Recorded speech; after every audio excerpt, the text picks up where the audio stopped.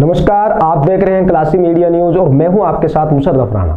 चलिए शुरुआत करते हैं इस वक्त की बड़ी खबर के साथ स्वर्गीय डॉक्टर विष्णुधर वाकणकर जन्म शताब्दी के अंतर्गत पुरातत्व विभाग की संध्या में वे संस्कार भारती के संयोजन में धरोहर यात्रा आज समारोह आचार्य वराह मेर की जन्मस्थली पुरातत्व के अनमोल धरोहर कायथा में आगमन हुआ